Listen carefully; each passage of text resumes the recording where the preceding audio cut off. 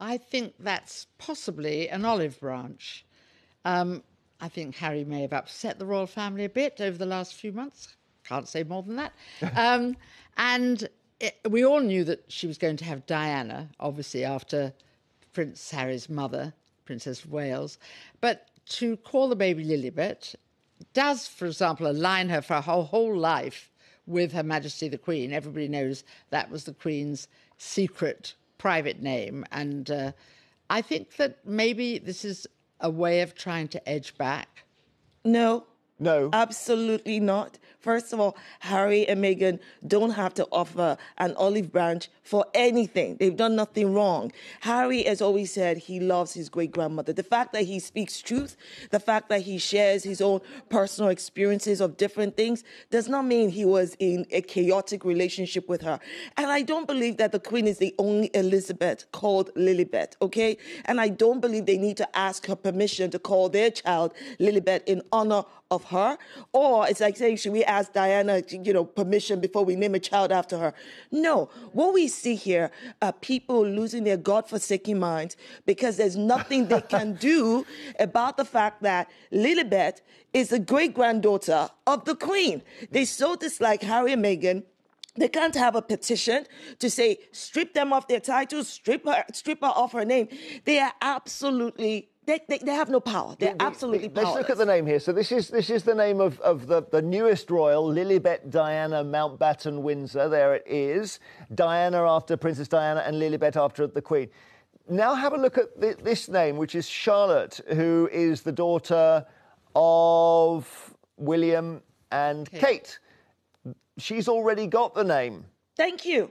And Is it, but nobody- isn't that a problem? No, how is it a problem? These are their second and middle names, right? So people are going to call Charlotte Charlotte and they're going to call Lilibet Lily. But please, please understand this. Why wasn't there the same outrage about Elizabeth?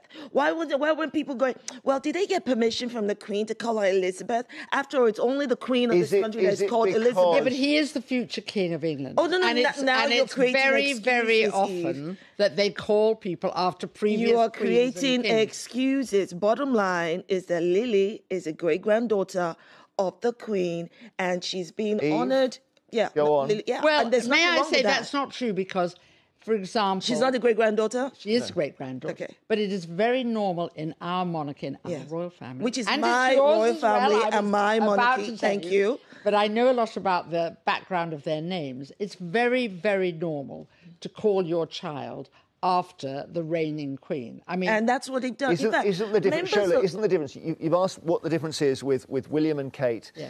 calling Charlotte Elizabeth and, and with Harry and Meghan calling their daughter Lilibet. And the answer surely is this that William and Kate didn't accuse the royal family of racism.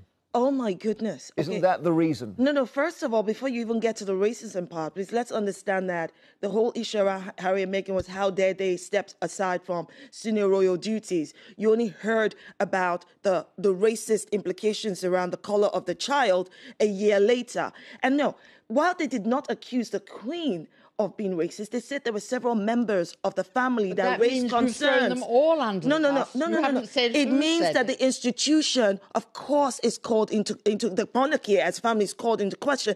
There's nothing wrong Accuse them of with bad that. parenting as well, But, Charles? but Harry also said he has a close relationship with his grand his grandmother, and we've seen nothing except what is in the press hmm. trying to portray something negative. Okay, between let- let Eve and, respond here. Ha- Harry and the Queen. my feeling is they have.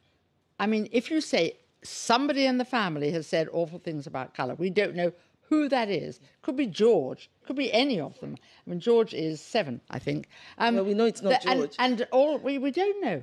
I mean, the other thing is, in the Times after that whole drama, there were lots of letters from people who their children had married somebody of colour, and they said we didn't talk about the colour of the baby once. We called them about the talked about the colour of the baby for the whole nine months. We were fascinated. Would it have red hair? Would it have? Would it be pale? You don't raise concerns So I, for instance, with my three kids, I kept saying to them when they were in my belly, what you must not do is come out with your father's nose because mommy has a better nose. Okay? That's not because I had concerns about my husband's nose.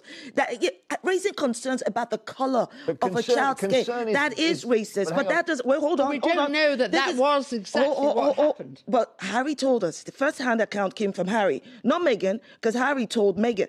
But you're trying to change the subject here. Okay. The experience they had in the royal family does not change anything about Harry naming his child after his grandmother. You, All right. are trying to bring up all these I'm just excuses, thinking we, and we just doesn't, it doesn't add up. We may